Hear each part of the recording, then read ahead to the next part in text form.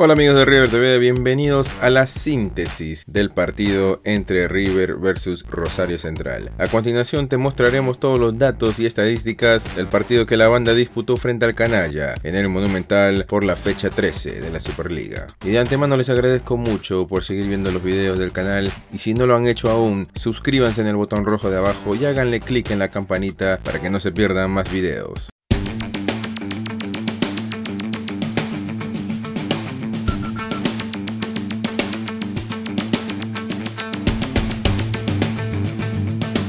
River dejó escapar una buena chance en el Monumental. Cayó 1 a 0 con Rosario Central y no podrá mantenerse en la cima de la Superliga Argentina, donde por ahora tiene 24 puntos. Tras la derrota, aquí en River TV Foot te mostramos la síntesis que dejó el partido en el Antonio Espucho Liberty por la fecha 13 del torneo local. River jugó con Franco Armani, Javier Pinola, Martínez Cuarta, Montiel por derecha, Casco, Nicolás de la Cruz como volantes con Ezequiel Palacios y Nacho Fernández, y en el medio en el 5 Enzo Pérez y Santos Borré arriba con Matías Suárez. Usualmente este es el equipo que sale todos los partidos como titular. Pero ¿qué pasó el día de hoy? Que por un error clave River dejó de escapar 3 puntos.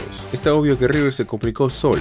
Ahí está la principal explicación de este traspié inesperado, que obviamente facilitó la tarea para que Rosario Central ganara 1 a 0, luego de 22 años sin poder ganar en el Monumental. Hubo muchas equivocaciones que sirven para comprender el sorpresivo éxito de un rival de floja campaña, y que esta mañana supo impedir que la cima del torneo se vistiera de rojo y blanco. La tentación de llegar a la punta se desvaneció como si fuera un espejismo, y la responsabilidad de esto, sin restarle méritos a Central obviamente, es que Lucas Martínez Cuarta, desconocido, cometió dos errores groseros. En el primero Armani lo atajó, pero el siguiente terminó en gol de Lucas Gamba. Pero más allá de esa acción tan puntual como determinante, hubo otros factores claves, desde las decisiones mal tomadas hasta la ausencia de claridad una vez que el marcador fue desfavorable. Ni siquiera el ingreso de Juan Fernando Quintero otorgó las ideas necesarias para romper el cerrojo de Rosario Central, cuyo plan fue de reducir espacios y contragolpear a River. Ezequiel Palacios fue el único protagonista que ofreció algo diferente, tres pases filtrados que podrían haber modificado el rumbo del partido, pero Matías Suárez y Borré no pudieron aprovechar esos momentos de lucidez para vulnerar la seguridad del arquero Jeremías Ledesma. Y los cambios del técnico tampoco entregaron soluciones, pese a que Lucas Prato y Escoco entraron con más energía, el cambio solamente era jugador por jugador. River dominó todo el primer tiempo y del dominio pasó a una desesperación desesperación en el segundo tiempo, sin rumbo. River tenía la oportunidad de superar la línea de Argentinos Juniors y Lanús para transformarse en líder, pero se complicó solo. Y ahora hablemos de los jugadores. Franco Armani, sin culpa en el gol de Lucas Gamba, había tapado un mano a mano en el primer tiempo y dio seguridad en el resto de las acciones. Gonzalo Montiel exigió por el lado derecho con intensidad y velocidad para abrir la cancha, aunque sin lastimar al equipo contrario. Lucas Martínez Cuartas cometió dos errores muy groseros. En el primero salvó a Armani y en el segundo fue gol de Rosario Central. Javier Pinola siempre estuvo firme y sin inconvenientes en la salida. Exigió al arquero Jeremías Ledesma con un zurdazo desde afuera y también por la vía aérea. Milton Casco, el lateral izquierdo, no padeció sobresaltos en su zona y se proyectó con criterio más allá de bajar un poco de rendimiento en la segunda parte. Enzo Pérez causó preocupación en dos molestias físicas, pero se repuso y prácticamente siempre estuvo bien posicionado, incluyendo una distribución acertada, mientras que Nacho Fernández estuvo desconocido, no fue el mismo jugador que estamos acostumbrados a ver. Algunos que otro desborde permitió alguna chance, pero por lo general se equivocó en las decisiones.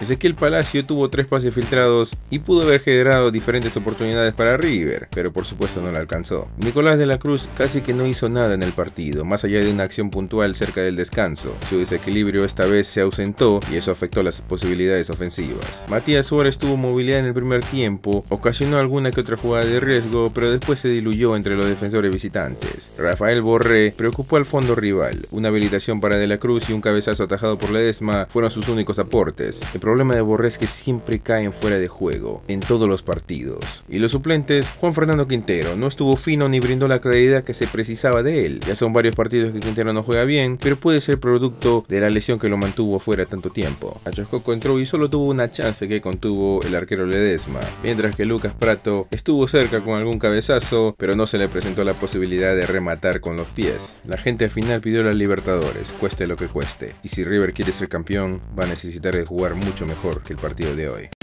Thank you.